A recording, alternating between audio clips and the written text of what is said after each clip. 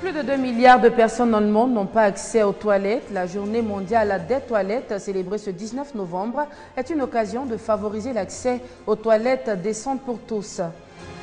Tournant décisif pour la sélection ivoirienne de football, les éléphants vont tenter cet après-midi face aux Lions indomptables du Cameroun d'arracher leur ticket pour la Cannes 2015. À Jérusalem, les tensions restent vives après l'attaque de la synagogue. C'est le domicile d'un terroriste palestinien qui vient d'être explosé. Merci de choisir RTI2 pour vous informer. Bonjour à tous.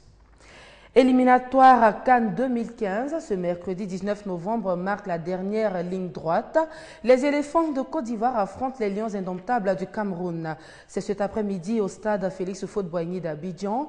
Ce match de la dernière journée du groupe D est capital pour la sélection ivoirienne. La victoire est donc impérative pour les éléphants afin d'éviter toute mauvaise surprise. Aujourd'hui, 19 novembre, c'est la journée mondiale des toilettes.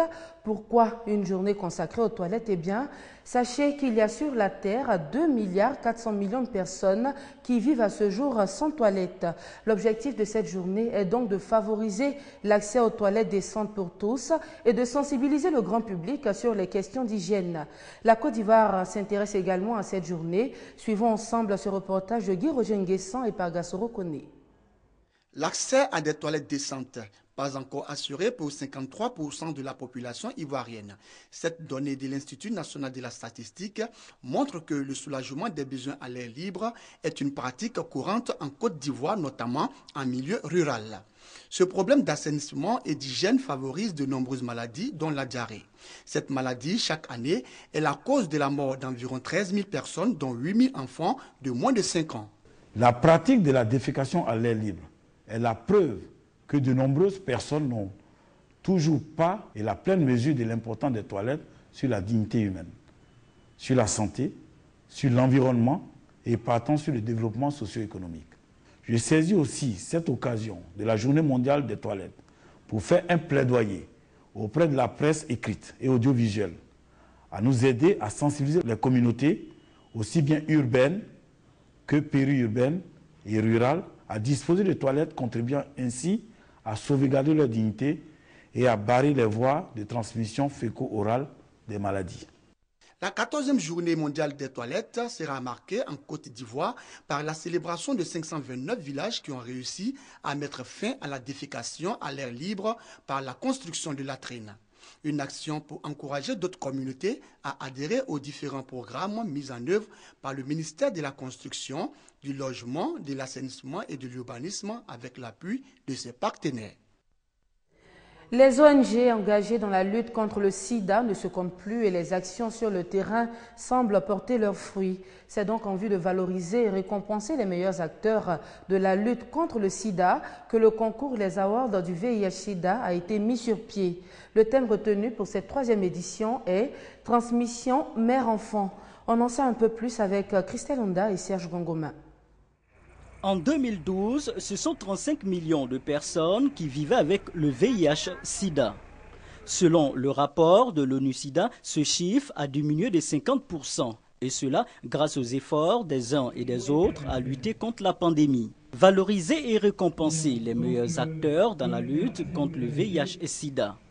Une initiative des Plumus Agence qui remet le couvert cette année pour la troisième édition des Awards du VIH-Sida.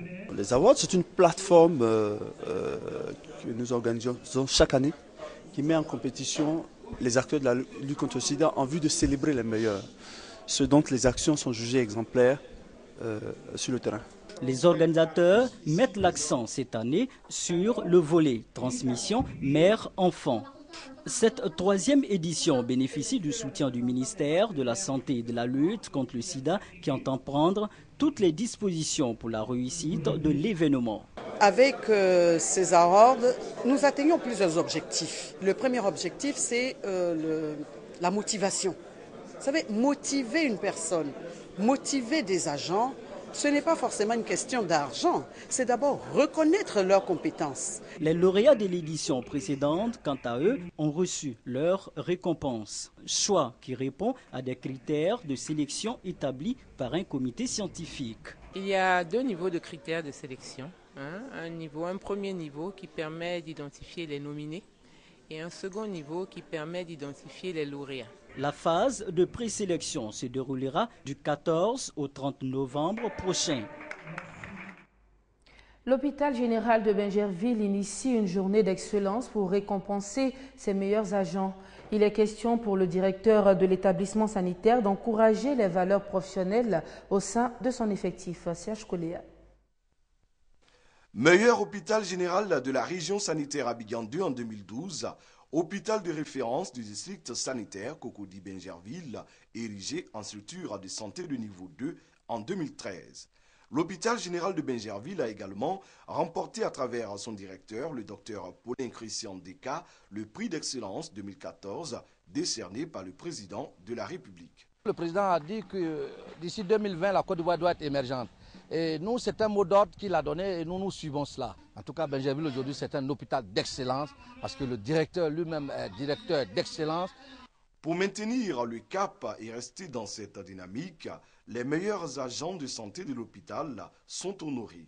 Compétences, dynamisme, rigueur, ponctualité, bon accueil sont quelques-uns des critères de sélection des dix meilleurs praticiens de l'hôpital général PMI de Benjerville. Ce directeur, il a vraiment changé notre façon de travailler. Nous accordons beaucoup d'importance à l'excellence et la qualité des soins qui seront prodigués aux patients. Il faut que les patients qui arrivent chez nous repartent vraiment satisfaits. L'ambition du ministère de la Santé, c'est de faire en sorte que tous les établissements de la Côte d'Ivoire suivent cet exemple. Un bloc opératoire équipé de deux salles d'opération, une salle d'accouchement flambant neuf et bien d'autres équipements de pointe font de l'hôpital général de Benjerville un pôle d'excellence en matière de santé. Les inspecteurs de l'enseignement primaire de Côte d'Ivoire sont soucieux de l'excellence au sein de l'école ivoirienne. Ils se sont rencontrés récemment au cours d'une conférence pour plancher sur la question. La ministre de l'Éducation nationale et de l'enseignement technique, Candia Camara, a pris part à cette rencontre et on fait le point avec Serge Gongoma. Rendre l'école ivoirienne plus performante afin de faire d'elle une école d'excellence, c'est l'objectif de cette rencontre entre la ministre de l'Éducation nationale et de l'enseignement technique, Candia Camara, et l'ensemble des inspecteurs de l'enseignement primaire de Côte d'Ivoire. Une conférence sur le thème S'engager pour une école performante de qualité a permis à Ibrahim Kourouma, inspecteur coordonnateur général, d'inviter les inspecteurs à plus d'engagement en vue d'atteindre les objectifs d'école d'excellence. Quant à la ministre de l'Éducation nationale et de l'enseignement technique, Kandia Kamara, elle a apprécié positivement cette rencontre des inspecteurs de l'enseignement primaire de Côte d'Ivoire. Ma joie est d'autant plus grande que cette rencontre est destinée au renforcement des capacités des gestionnaires de circonscription, maillon essentiel du dispositif d'encadrement du système éducatif. Je vois en cette activité un autre signe, mieux, une preuve concrète de notre engagement collectif à optimiser la qualité de notre école. Cette démarche s'inscrit bien dans la perspective de rendre plus opérationnels les services éducatifs afin qu'ils répondent aux exigences des temps modernes.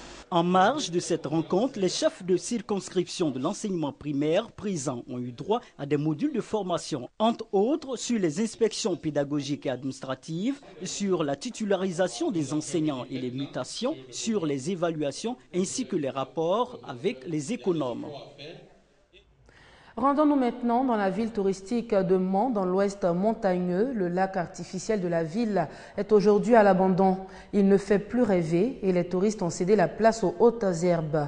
Pour les nostalgiques, ce site touristique devrait être réhabilité. Un avis que partagent les autorités de la ville. Franck Quadio. Un marché de médicaments traditionnels comme rideau de circonstance. Derrière les étals de feuilles et autres décoctions, une vaste étendue de mauvaises herbes un dépotoir d'ordures et d'eau usée. Ce îlot de verdure cramoisie en pleine ville, c'est ce qui reste du lac artificiel du Mans. Dans les années 80, fleuron touristique de la région. Non, mais notre lac a été délaissé, c'est pour cela que vous voyez comme ça, là comme tout est devenu brousse. Non, avant le lac était super, c'était beau, c'était joli à voir.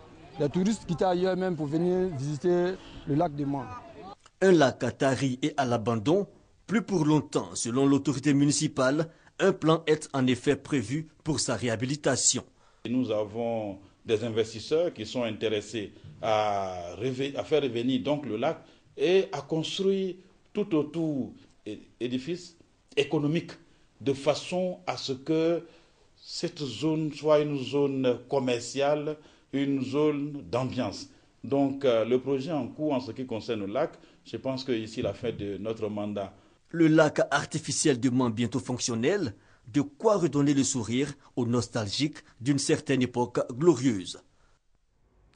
Au Burkina Faso, le nouveau chef de l'État intérimaire Michel Kafando a prêté serment hier mardi. L'autre étape de la transition attendue par les Burkinabés et aussi par la communauté internationale, c'est bien la nomination ce mercredi d'un Premier ministre et la formation d'un gouvernement.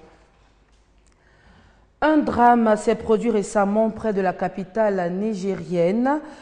Une barque transportant des élèves qui se rendaient à l'école a été renversée par un hippopotame. Si certains d'entre eux ont eu la vie sauve, d'autres par contre n'ont pas survécu. Près de Niamey, la commune de Yuri, au bord du fleuve Niger, est en deuil. Une barque transportant 17 élèves se rendant à leur école sur l'autre rive a été renversée par un hippopotame. Deux corps ont été repêchés, cinq personnes ont eu la vie sauve, dix autres sont toujours portés disparus. Connaissant l'habitude de ces pachydermes, euh, quand ça attaque, ça commence à attaquer, ça veut dire que ça devient menaçant. Et quand c'est menaçant, il faut euh, vite le neutraliser. Les forces de défense ont été appelées en renfort pour sécuriser le fleuve et permettre la reprise des recherches. C'est la deuxième fois qu'un tel accident se produit dans cette zone. En bref et en image, regain de violence dans la ville sainte de Jérusalem. La main de fer promise par Israël a commencé à agir à Jérusalem-Est. L'armée et la police ont fait exploser l'appartement d'un terroriste palestinien au lendemain de l'attaque d'une synagogue qui a fait près de cinq morts. Et c'est ici que l'on s'arrête pour aujourd'hui. Merci de nous avoir suivis et excellent après-midi en compagnie des programmes de RTI2.